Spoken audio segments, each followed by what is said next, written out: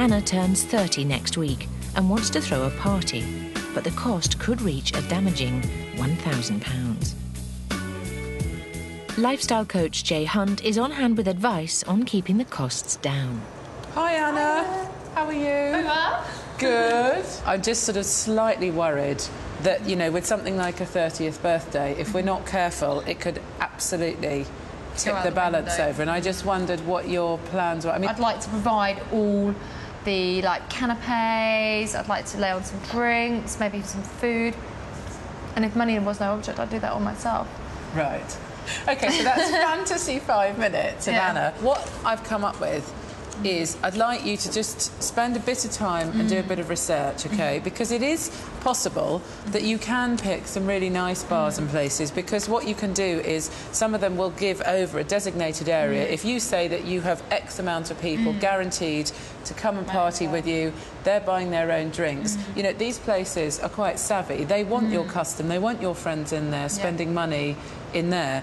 And for that, you don't actually have to pay anything. I really don't want to pay too much money. So if I could cut any corners, like have the birthday cake, buy it from Tesco's or something, or a bakery, and then um, have that in there. And I mean, because I'm going to be giving them a lot of money at the bar, surely I should be able to negotiate around that. I think if you plan in advance, then Yeah. nothing's going to be a surprise. I think it would be a shame if at the last minute, due to a panic, you're kind of chucking money mm. at your 30th something else, birthday yeah. when in advance we could sort of work it out, which would mean you could have fun Yeah. and it could be stylish and you can be surrounded by all your mm. friends. But when you wake up on Sunday, you're not going to be thinking, oh no, I can't believe that I spent all that all money that." on a night that I can't sure remember.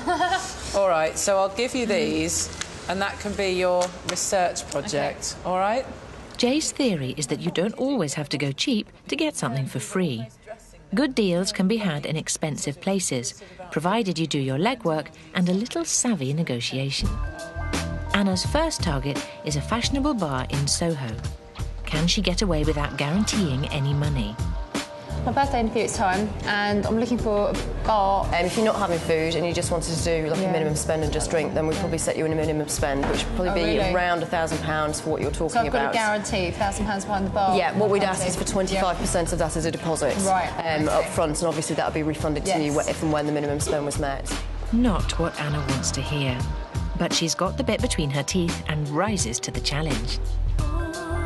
We can have it exclusive for you for the whole night. Hmm. There's no charge at all for Oh, it. really? Do you have to guarantee set the phone behind the bar or anything? No spend behind the bar at all. Yeah.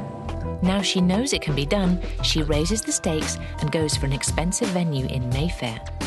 Certainly not the cheapest part of town. Negotiation skills at the ready, she's determined to get a place she really wants. First of all, how much, how much is it to hire out? Just some drinks. Yeah, Okay, we can say it's gonna be a minimum of thousand. really? Yeah. Okay. What happens if I don't get a thousand behind the bar?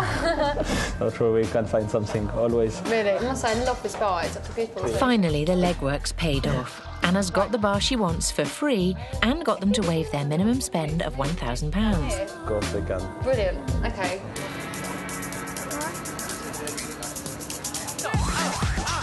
All of Anna's best friends have made the party, even a contingent from Bognor, despite knowing they'll have to buy their own drinks.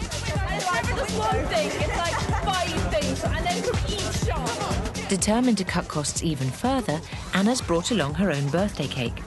While it's from Tesco's, no one can tell under all those candles.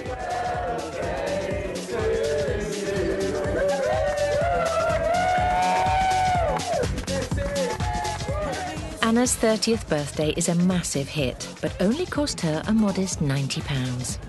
She's learning fast.